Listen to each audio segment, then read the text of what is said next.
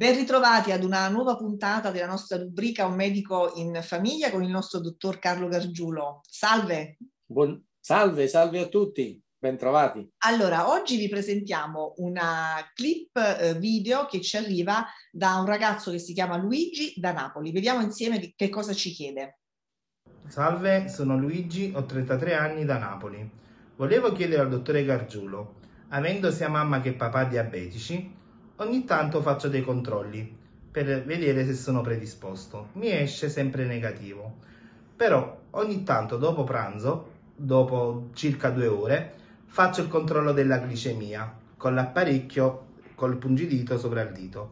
Mi esce sempre un poco al di fuori della norma, addirittura a volte arriva a 200. Come mi consiglia approfondire o prevenire questa cosa? La ringrazio. Allora, Carlo, che cosa possiamo rispondere a Luigi? Ma intanto la prima cosa che dobbiamo dire a Luigi è che questa familiarità va seguita come lui effettivamente fa.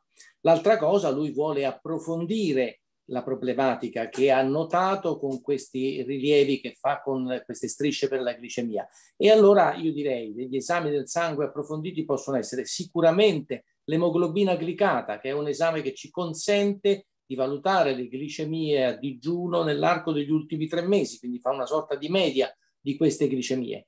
Ancora io farei, se la glicemia basale è normale, come dice lui, una curva da carico glicemico, cioè con la somministrazione di una quantità fissa, 75 grammi di glucosio, e controllare ogni mezz'ora, controllare l'andamento della glicemia e una curva insulinemica. Che cosa significa la curva insulinemica? L'insulina è l'ormone che consente di metabolizzare gli zuccheri e farli entrare nelle cellule, quindi la curva insulinemica serve a vedere se il suo pancreas, che è l'organo deputato a produrre questa insulina, se il suo pancreas funziona bene in risposta al carico glicemico. Mi spiego meglio, entra lo zucchero, il pancreas deve rispondere con l'insulina, tanto zucchero, tanta insulina. Se così non funziona, bisogna poi allora capire che cosa si può fare per aiutarlo. Intanto però la buona norma che vale per tutti è quello di avere una dieta dove gli zuccheri semplici siano ridotti e soprattutto una dieta che abbia una quantità di calorie tali da farci mantenere il nostro peso forma.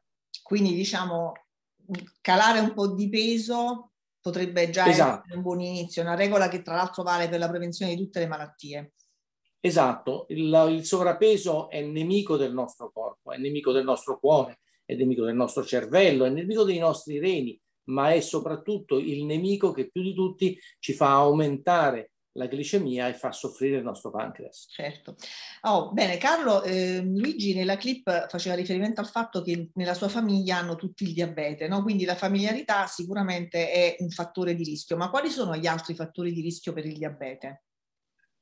Allora, intanto una piccola distinzione, non dobbiamo più dire il diabete, ma dobbiamo dire i diabeti al plurale, perché in realtà sono due malattie completamente diverse. Il diabete di tipo 1, cosiddetto diabete giovanile, che è quello che si cura soltanto somministrando insulina, e il diabete di tipo 2, che è il diabete delle persone in sovrappeso e che è il diabete, una volta lo chiamavamo degli anziani, ma oggi gli anziani non esistono più, quindi chiaramente è un diabete delle persone un po' più avanti negli anni. Ecco, queste sono due, due forme completamente diverse. Il diabete di tipo 1, come dicevamo, è una malattia autoimmune per cui il nostro organismo distrugge il pancreas, distrugge le cellule che producono l'insulina e questa mancanza di insulina provoca il diabete. Il diabete di, e quindi compare già in giovane età, va curato con, come dicevamo, con la somministrazione di insulina e va seguito molto attentamente. Il diabete di tipo 2 invece dipende molto fra i suoi fattori di rischio dal sovrappeso,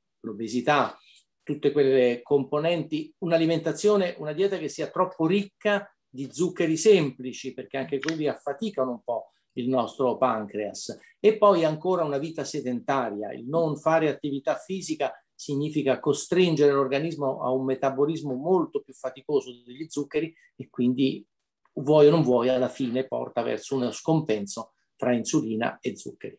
Mm. Oh, diciamo anche un'altra cosa che possa essere di interesse per chi ci sta seguendo. E il peso l'hai citato, quindi l'alimentazione. Sì. E, sì. Pensi al diabete, pensi allo zucchero e quindi pensi ai dolci. È l'unico nemico di un soggetto diabetico il dolce oppure okay. possiamo dare altri suggerimenti? Allora, nella, quando parliamo di dieta corretta per il diabetico, dobbiamo renderci conto che eh, non è soltanto lo zucchero il nemico da sconfiggere. Diciamo meglio, gli zuccheri semplici, che sono dallo zucchero che noi mettiamo nel caffè, quelli, ai dolci, a tutti quegli zuccheri che nel nostro organismo immediatamente mettono in moto il pancreas, sono i nemici principali, proprio la prima linea dei nostri nemici ma gli zuccheri sono contenuti anche in tanti altri alimenti. Non ci pensiamo, ma tante volte la frutta in eccesso può provocare una sofferenza per il nostro pancreas. Il pane, la pasta, anche questi possono essere un po' eh, alimenti che creano qualche problema con il pancreas.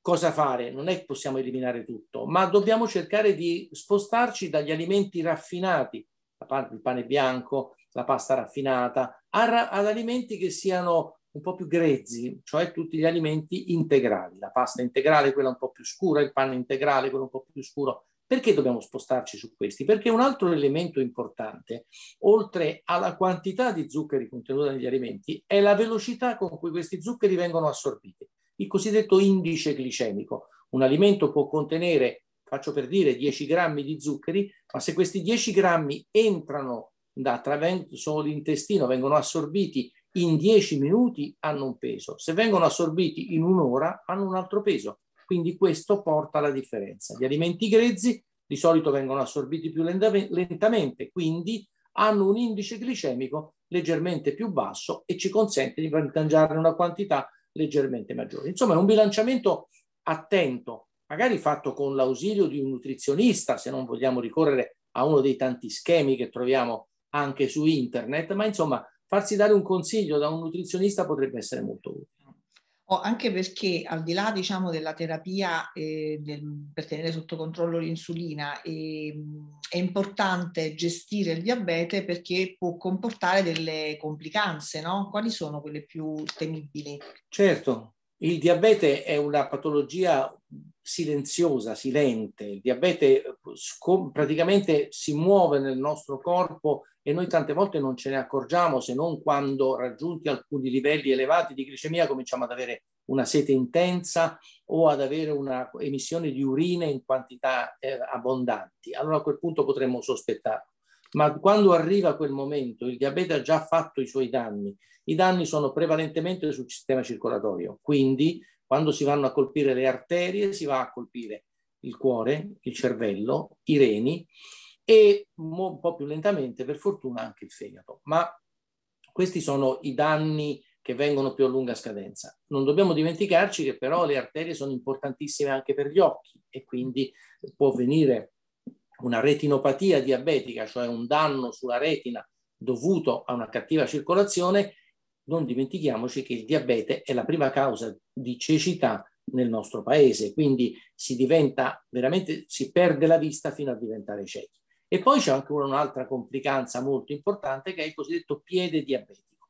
Le estremità soffrono quando il sangue non riesce ad arrivare fino alla periferia, soffrendo si, può, si comincia a creare un'ischemia, cioè una riduzione di sangue che arriva in periferia, fino ad arrivare a una vera e propria necrosi, cioè alla distruzione delle cellule e dei tessuti, e anche lì è una causa frequente di amputazione di uno o di entrambi gli arti. Insomma, il diabete non va preso sotto gamba. Il diabete è una patologia che va curata perché può essere curata, a volte con rimedi semplici che sono soltanto una dieta corretta ed un'attività fisica, altre volte ricorrendo alle, alle, medicine eh, tradizionali o, o all'insulina. Certo, ecco, infatti l'ultima domanda che voglio farti è questa. Abbiamo capito che comunque è una malattia che, da tenere sotto controllo, ma che spesso è anche difficile proprio da controllare perché richiede un monitoraggio costante dell'insulina e leggevo che la difficile gestione di questa malattia, in particolare della terapia insulinica, fa sì che oltre 7 persone su 10 con diabete di tipo 1 non raggiungano un buon controllo glicemico. Allora ti voglio chiedere come chiusura, che consigli possiamo dare per un miglior controllo della glicemia e anche se ci sono delle novità che possono aiutare il paziente a gestire meglio? Sicuramente, il, essendo il diabete di tipo 1 un diabete giovanile, bisogna insegnare ai ragazzi a prendersi cura del loro diabete.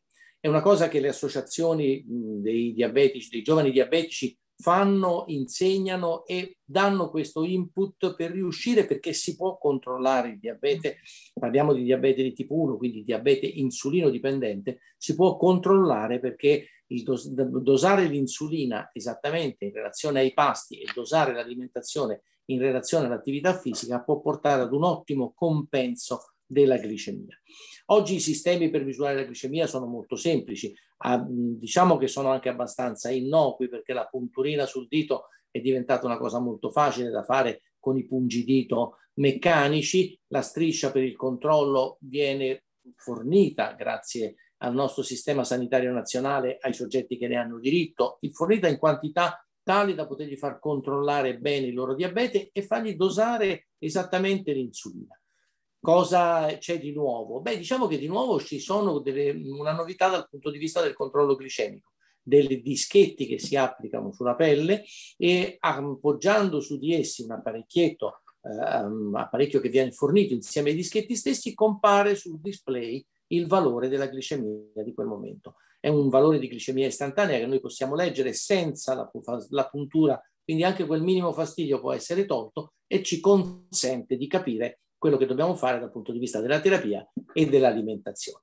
Un po' di tempo fa si, è, si era parlato, poi è andato un po' nel dimenticatoio, di una lente a contatto che addirittura contenesse nel suo interno un misuratore della glicemia, nelle, nelle, del valore degli zuccheri nelle lacrime e che potesse dare su un display il valore stesso della glicemia. Poi non so perché non è stato Sembra quasi utilizzato. fantascienza questa. Eh, sembra fantascienza, cioè guardare lontano e sapere che qual è il valore di glicemia. Ma sicuramente ci arriveremo. Come arriveremo a quello che è poi il desiderio di tutti i diabetici, soprattutto i diabetici di tipo 1, la pompa da infusione continua, un, certo. probabilmente un micro, un micro innesto da mettere sotto la pelle, da rifornire con l'insulina la mattina e durante il giorno dall'insulina in rapporto a quello che serve. Fantascienza? Io non credo, perché ho visto tali e tanti progressi della medicina in questi anni che ho fatto il medico che non mi eh. meraviglierei più di nulla. Assolutamente, veramente. anche il Covid, insomma, abbiamo visto che quando si corre esatto, vuole arrivare, esatto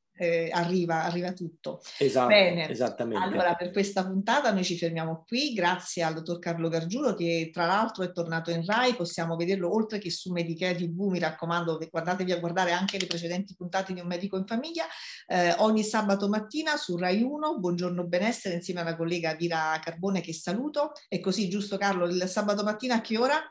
Alle 10, intorno alle 10, 10, oh. 10 e 20 è vario un po' l'orario quindi anche lì lo, lo ritroviamo. E intanto, prima di salutarci, vi ricordiamo chi volesse mandare la clip video oppure se siete più timidi, non avete voglia di girare il video, potete scrivere a info-medicea.it per mandare le vostre domande al dottor Gargiulo che poi vi risponderà come abbiamo fatto oggi. Grazie. Grazie a tutti, arrivederci. Arrivederci.